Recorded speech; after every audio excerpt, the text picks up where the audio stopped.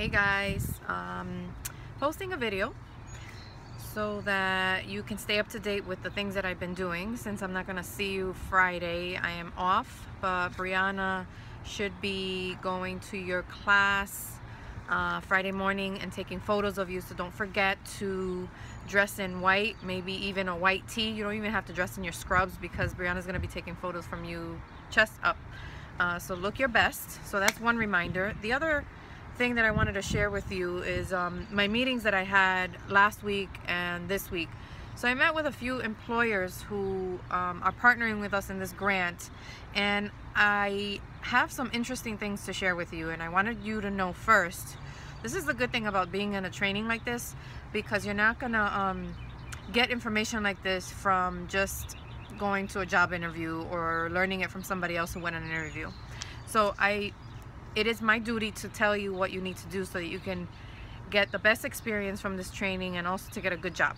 So here are some things and I, I wish I can share everything with you but I don't want this video to be long. So I met with Homefront Healthcare. They are a home care agency and they're always hiring. They're looking, hiring, and will train on site um, so that you can um, gain the experience that you need to be a CNA in home care. So if you're interested in that, I would encourage you to um, connect with the person that I met with. Her name is um, Mary Ann Mello. She'd be willing to meet with you and talk to you about the great things about being a home care CNA.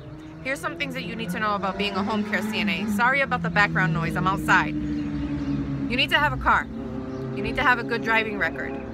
And there is flexibility around visiting patients in their home. So they're actually residents. You're going to be visiting them in their home. And the job of a CNA in home care is not the same as being in a nursing home or in an assisted living facility or in a hospital. So if you wanted to explore more, um, I would encourage you to set up a time to meet with Marianne Mello. If you need help with that, I'll help you with that, okay? The other thing is, um, Jane Donahue of Scallop Shell Nursing Home. That's over in Peacedale. It's on the southern end of Rhode Island. It is a bit of a drive, but what a nice place. And Jane is absolutely, you know, peach, a peach to work with. Um, their starting wage is $11 an hour. And they can move up uh, quickly um, in that, um, that hourly wage. There is a differential if you work at night um, they like to start per diem because they wanted to make sure what the commitment is between the employee and uh, the work that you do. So um, if you want to test out the opportunity to go there, I encourage you. I can set that up with, with you, uh, an informational interview. It's not necessarily a job interview, but if you wanted to learn more about that, that's something to, to consider. Um, and I should tell you that all of the facilities, they're all different the level of work that you'll be doing as a CNA is different. Um, so one of the things that you should do is um, ask questions about what kind of work you'll do as a CNA if you do um, when you're ready to start looking for work. Rhode Island Hospital, they require a high school diploma and they do require experience. However, here's the good thing about it.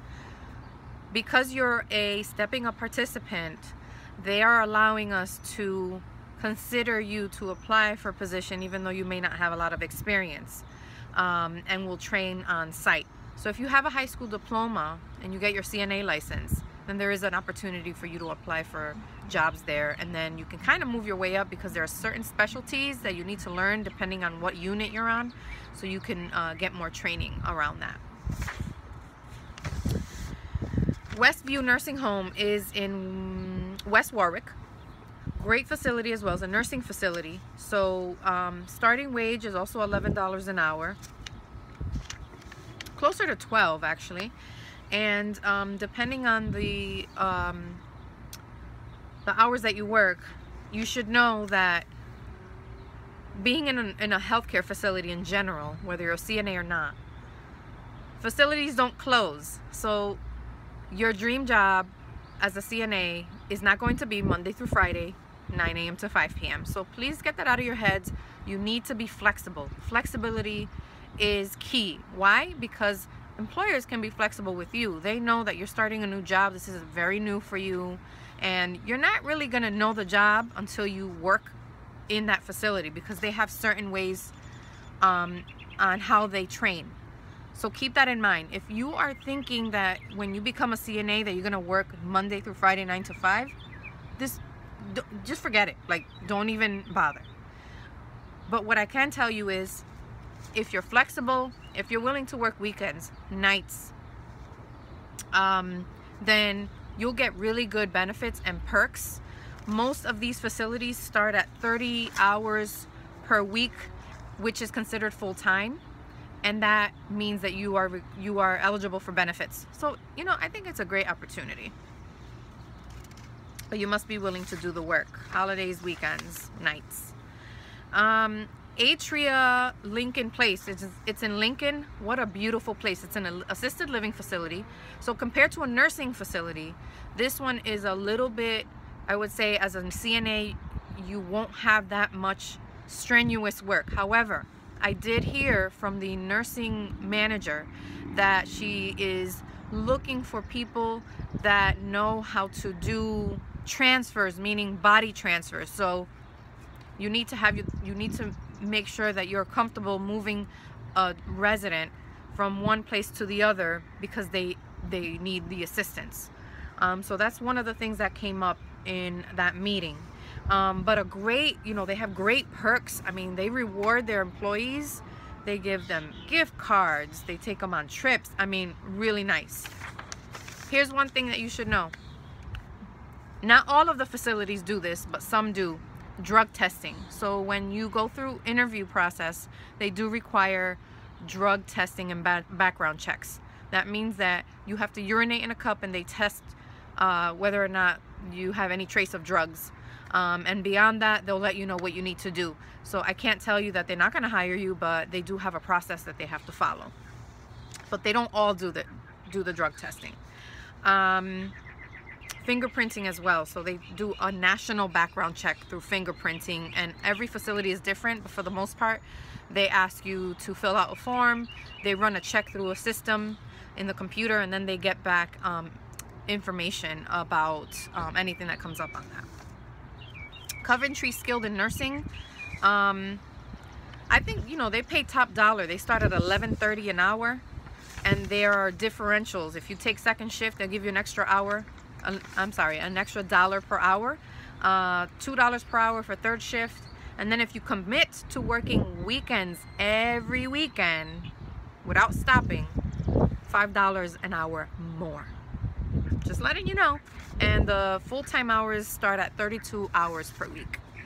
Um, some of the things that came up that they were concerned about is people arriving late and people oftentimes calling out. So if you go on an interview and they tell you that there are specific hours that they're looking to fill and you say, yeah, yeah, yeah, I'm available, that's great. And they walk you through the concerns that they have about lateness and everything. Oh yeah, not a problem, I'm not gonna be late. Then you start coming in late and you call out, you know, it's not gonna look good on your record. I'm just letting you know right now. So, you know, keep that in mind, make a plan. I can help you with that.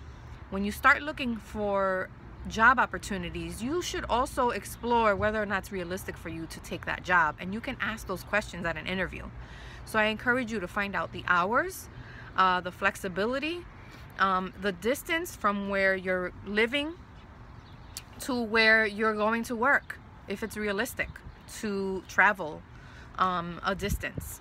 Um, if you have a job already and you're looking for a second job in a nursing home as a CNA, that might be tricky so think about that. Um, anyway, I think that's it. Just another reminder, receipts, if you haven't handed those in to me, please, I'm still taking them.